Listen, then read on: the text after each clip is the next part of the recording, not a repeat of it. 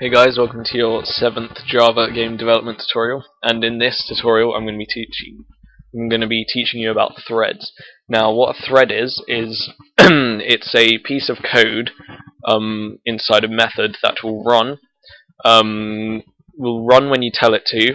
And the most important thing about threads is that they can all run at the same time, which um, allows incredibly smooth gameplay, especially if you're building a large and complex game or program.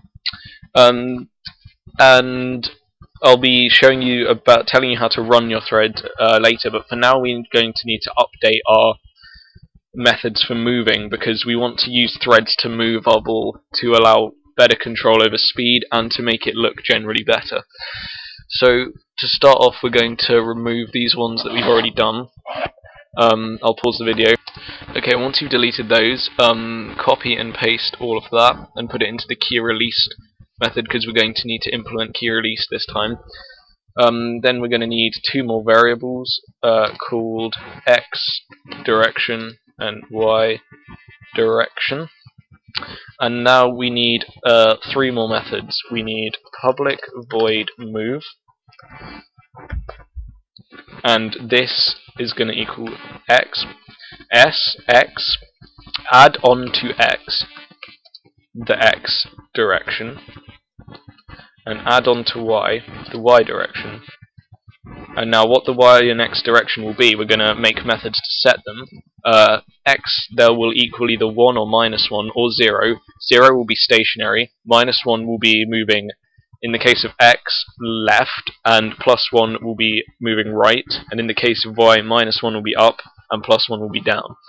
Uh, now we need to make methods to set these values, so public void, I'm just going to say set x dir direction, and then we need an int x direction, and then x direction equals x direction and then set oops public void set y direction. Just going to make that looks neater. Int y direction. Y direction equals y. Now there we go. Now when we we're going to set what we're going to do is when the user presses a key we're going to set the x and y direction or depending on whether it's left, right, up or down. And then in our run method we're going to call move. Uh, we'll do the run method in a minute but for now um, we're going to need to say uh, when you press left set x direction to minus 1 because it's moving towards the x-axis towards 0 on the x-axis and then we want to set x direction for this as well to be plus 1 and then set y direction um, up will be minus 1 because um, remember the y-axis starts at the top and then set y direction to be plus 1 there we go. And now in our key released we now need to say to set the x direction to 0 because otherwise because if we just set this and didn't handle when the key was released, they would press the left arrow key, x would become equal to minus 1, set x direction would become equal to minus 1, and then it would carry on going, and it wouldn't ever stop because it would never equal 0 again. So we're just setting these to avoid that confusion, and they all equal 0 because that equals that means it's not moving. And then in our public void move, we're just going to handle basic collision detection again. So if x less than or equal to 0, then x equals 0. If x is greater than or equal to 200, because the size of the smiley face is uh, 50 and our screen size is 250, so we minus that way. x equals 200. If y is less than or equal to 0, um, hmm, less than or equal to 50, that's right I think, and y equals 50, and then if y is greater than or equal to 250, and y equals 250. I think those are right. It, might move off the screen by accident at some points. Alright, but now we've got this done, we now need to implement our run method, and this is where the threads come in. First of all, we need to implement in our in our class, we need to implement runnable. and now what that means is is that now this method is runnable and we can call the run the run method and make turn it into a thread. Public void run, it takes no parameters. And in our run method we need a try and a catch. And what try and catch does is it literally means alright, try this, and if it doesn't work, catch the errors and do something.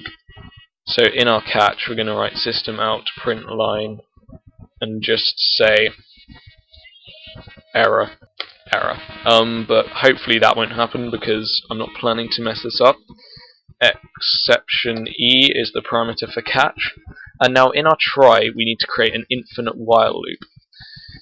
But we are going to control how fast it runs because an infinite while loop will run as fast as your computer can manage.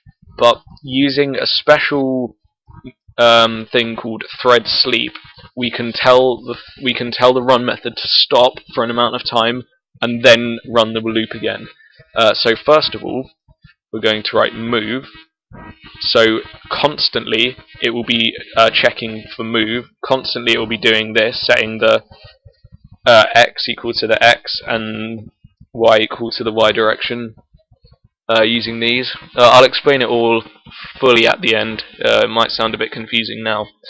Um, but then we're going to want to say thread dot sleep and now there's a thousand milliseconds in a second so how often do we want our um, face to move one pixel along? So I'm going to say 5 milliseconds. Uh, that seems like a decent enough speed.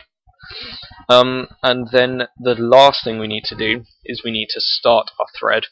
So we come down to our main method and I'm going to make a comment saying threads. And to start a thread it's really easy. It's just like a normal variable or an object. Thread t1, well, t1 is the name of the thread, I'm just calling it t1, equals new thread, and there's no parameters since it's located in this file. If it were in another file, you would need to state where it was in there, state the object, and then you simply write t1 dot start. And that should be it.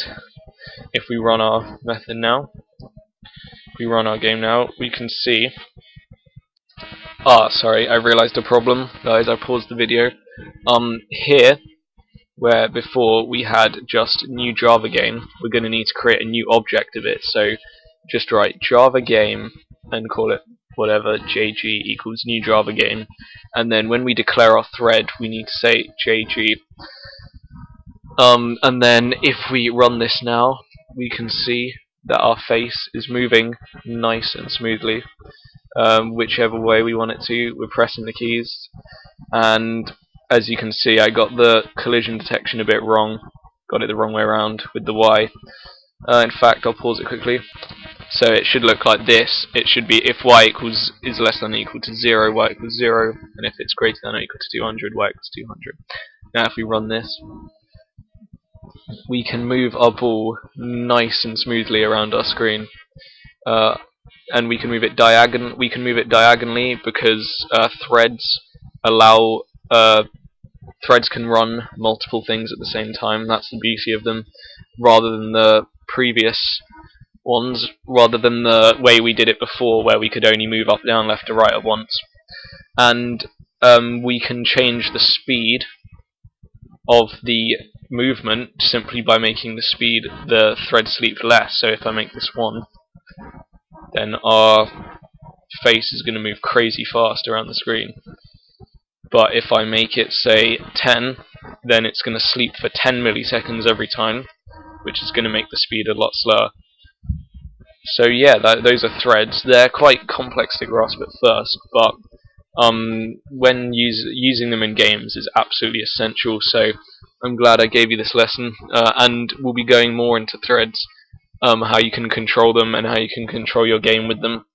Uh, but that's all for now. Remember to subscribe, and uh, thanks for watching. I'll see you next time.